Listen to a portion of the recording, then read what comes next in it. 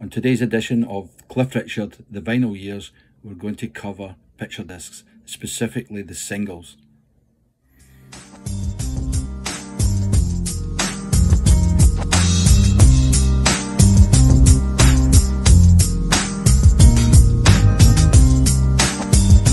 Picture discs had been around since the 1930s and didn't become popular until post-war Britain.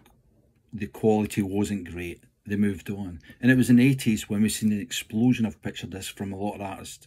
Was it a marketing ploy? We, the reality was the quality of the vinyl wasn't as good as the, the you know the original pressing, and um, that it became more of a collector's item.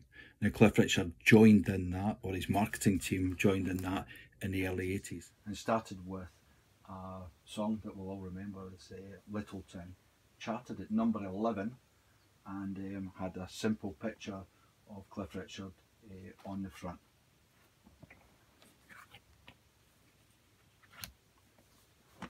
Um, on the back they had the, the track listings which was typical of these early editions as we go through the collection you'll see that the information uh, becomes put on card and things like that. The second single to come out on um, picture disc was a duet with Sheila Walsh. Um, uh, Sheila Walsh and Cliff Richard it was a more of a, a Christian background uh, on that one and they sang songs together. Charted in at 64, didn't do particularly well um, but still a nice song and a, an important addition uh, to Sheila Walsh's career. Um, Cliff Richard worked a lot in the background you know, as, as far as producing, backing vocals and clearly doing some singing as well particularly on this single. If we look at the back, it's really just uh, information uh, on the on the artists themselves in the sense of who produced blah blah blah. You know, so. The third single to come out was an interesting um, copy of Shooting from the Heart. It became an, uh, a heart-shaped edition and uh, charted at 51, which probably less than it probably deserved. I think that you know had a hit uh, on it. However, uh, probably the most interesting thing um, on this edition, and certainly in this picture, this uh, was the the heart shaped. And if we turn over, um, we'll see that it's it's uh, they made a bit of effort as far as a, a, a little bit stylish um, added to the disc. There was a production error um, on it. And what they did was they inserted a small green card um, and just crediting the um, the production, um, uh, whatever they made the error, that's how they, they rectified it. So the most interesting thing about this one was the shape. We start to see there there's a wee bit of thought going into it, and we'll see various shapes as we go along. So the next single was another, well, it was a combination. It was the um, disc with uh, called Living Doll with the Young Ones, which were a TV uh, quartet uh, of comedians who were remarkably successful with the total polar opposite of the uh, crude humour and stuff like that, which went against the sort of lifestyle we, we associate with Cliff Richard. The reality is, is that that probably helped promote the whole thing and the antics of the young ones um, made a hilarious um, uh, outcome in terms of the promotion of the ad, uh, of the record itself and uh, ultimately featuring Cliff Richard and Hank Marvin um, just out of interest. And he's he obviously features on the record itself. Um, it was a gold disc a, U, a UK uh, gold disc. It was number one in a lot of countries but specifically in the UK uh, 400,000 records it's got to sell uh, sort of a minimum amount to achieve that that standing. And of course it was a charity single you know there are other charity singles and another edition of this one. I'm going to cover uh, all the charity uh, singles that Cliff uh, features in. Um, so it's for save save the children um, and specifically in Africa for the Ethiopians and Sudanese. Um, so it was a number one record for Cliff and still as popular today as it was then, I'm pretty sure. Next up was Slow Rivers. Um, it was a duet with uh, Elton John. and uh, featured on Elton John's record label. So I suppose it's an Elton John featuring Cliff Richard. Um, however, um, two great icons of music coming together was always going to stimulate some interest. However, chart-wise, didn't do so well, only reached number 44. Um, it was recorded in um, 1984, um, and this edition didn't release to the charts, and all, all editions actually in uh, 1986. Um, the picture on the front um, that you can see on the disc um, was taken from uh, Cliff from the Hip, which was a 1986 Channel 4 uh, special uh, on there. So interesting enough and nice record again.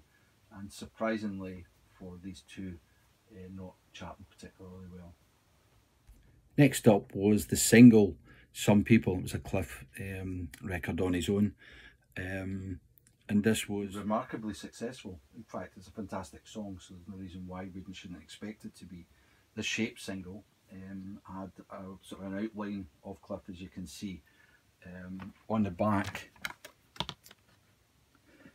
um, the, more images uh, on there, and the pictures down the bottom appeared as far as the promotion pack on the singles, so the, the fans could get access to these singles, but uh, the, the pictures so you can see uh, in there. So this charted at number three and it really signified um, a good return for Cliff Richard back into the charts after some quiet time and promises to, be some good. It did reach silver uh, level which meant excess of 200,000 copies. Um, so it was a good record and um, will feature in all of Cliff's best of things types albums. Next up was Shooting from the Heart, released in time for Valentine's. Valentine's. What you can see is the, the heart-shaped single uh, on there. Um, it charted at 34, which was maybe you know slightly lower. I think we probably always look at a top 30 hit as being a significant hit. Um, so I think there's a wee bit of disappointment in there. So the, um, if a it's a pink and red uh, hearts on there, and if you look to uh, the top right of the disc, was a little label in there too from. It was set, it was marketing as something you could give to your uh, girlfriend, boyfriend, and things like that. Um, so, uh, not a lot else about that one. It's an okay ditto, um, and um, just outside the charts, um, probably should have charted uh, higher, in my opinion. The next disc that was released, or picture disc that was released, was uh, Lean On You, um, shaped in the heart and shoulders. There was actually two editions of this one. Uh, I don't have the other copy, um, but basically it was a 7 inch single with that same picture pushed into the 7, uh, seven inch edition. Um, the the charts uh, wise it reached number 17 that was a reasonable hit and um, one of one of my you know particular favorites, which is fairly fairly irrelevant, I suppose. Um, the nothing much else to say about that one, but that was 1989. So we were starting to see that these types of records were starting to pale as far as adding on to sales and marketing to go. Um, so they were working um, really uh, really hard to market lots of different editions from uh, the CDs to the tapes to the vinyl to you know everything going out. Um, but a chart single of 17 is a sizable hit.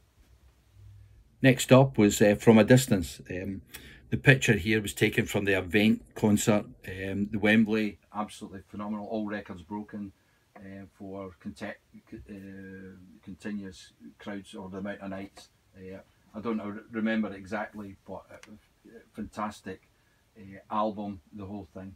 And there was actually two or three um, singles taken from this one, and a lot. Of, you'll see a lot of parts of the concert appearing in different singles and things like that. But specifically, um, from a distance, um, was released um, and charted in at number eleven. Um, it's a, a, fantastic song. M works back to the pop uh, with a religious uh, uh, overtone on it, and it's just a lovely record, um, in my opinion. Um, the the B side from a distance, and I could easily fall in love. Um, also features uh, from the same concert, uh, on there.